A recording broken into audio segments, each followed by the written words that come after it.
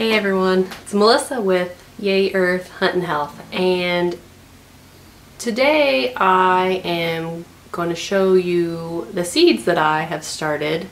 Uh, it's February 1st and it is snowy and we just had the polar vortex here in central Illinois so it is cold.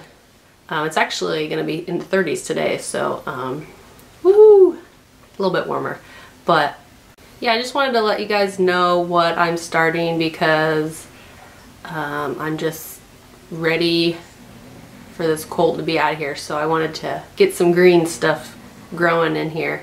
And we grow our seeds in the house.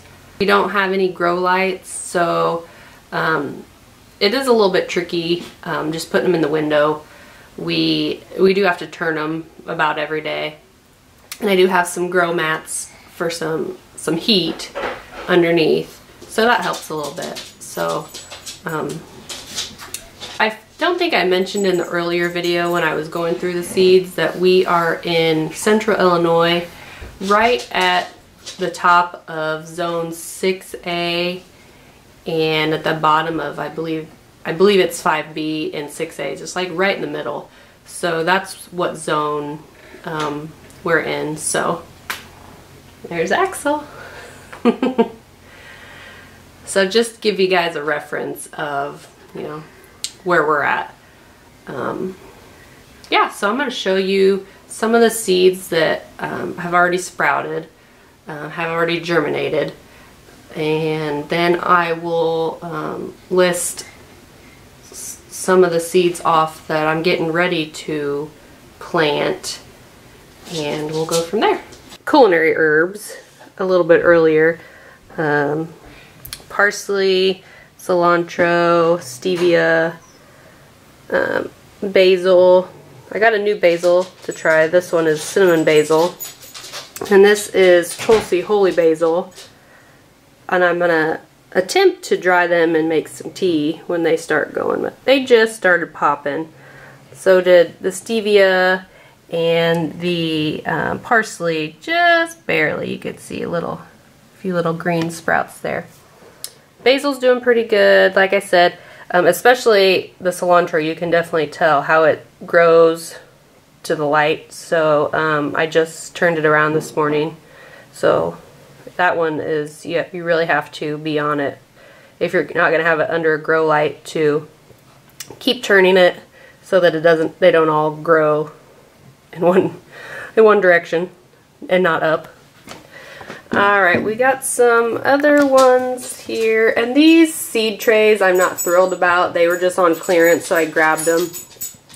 They had the discs of um, starter soil, like the coconut fibery stuff that you add water to. And um, I, I, won't buy those again, but you know, you live and, live and you learn. So those just started popping, but I feel like I will probably just forego the little cells altogether next year and just start with probably the 4 inch by 4 inch I think that's what size they are just a little the bigger squares that way I don't have to do as many transplants because obviously I mean it's only February 1st and they might be in here a while. We don't have a greenhouse yet, so um, I'm going to have to transplant them. Hopefully not more than once, but I just couldn't wait.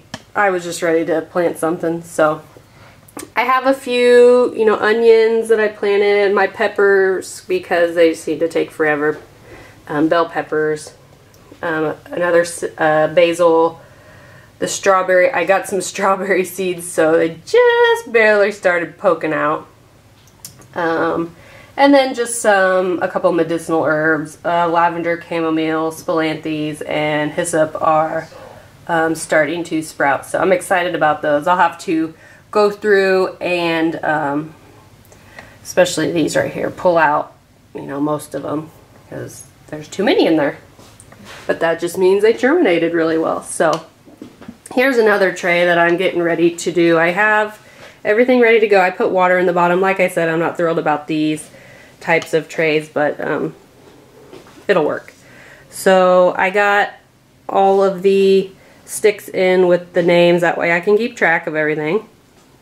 And these are pretty much the rest of my medicinal seeds that I am getting ready to start. So I'm going to go ahead and plant these. Obviously seeds are small. So we are going to try and only put, you know, a couple in each cell, but sometimes you get more, obviously, like, you know, some of those have like six or seven, so I'll have to pull some of those out. But um, this is Elecampane, so I mean, they're a little bit bigger. You can kind of see. We can focus on that. So we'll just put, I'm just going to do three cells of each. Because um, I've never grown this many medicinal seeds and I don't really know how much I need. So I'm just going to do, like I said, I'll just put two in each little cell and just barely cover. You know, you don't want to go down too deep. So, and I, like I said, I pre-watered the soil. That way you don't have to go in and disrupt the seeds with water um, after you put the seeds in. So I'm just going to do three, three cells, just, you know, two or three little seeds in each one. And that's it. Now usually the rule of thumb is um, you plant the seeds like a depth of however three times thicker than the seed itself. But I mean, some of those seeds are so tiny. I mean, you barely just have, just barely cover them and just, you know, tamp it, the, the soil down over it. And I mean, it should be fine.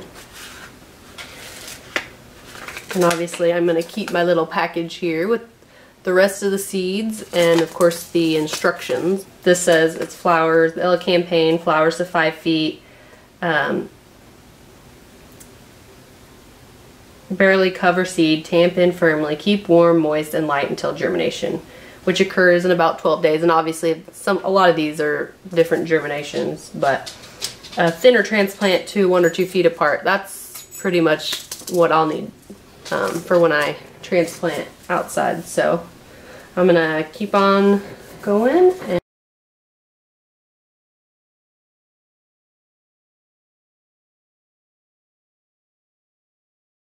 Alright guys, I got all my seeds in and they're nice and warm because I'm going to put them on the in the window on a grow mat so they keep toasty. I got actually everything in except for the passion flower because I forgot to um, soak those in water. You're supposed to nick them and soak them in water for a few days and then put them in. So I'm going to do that and then I'll get those in and I'll keep you guys updated.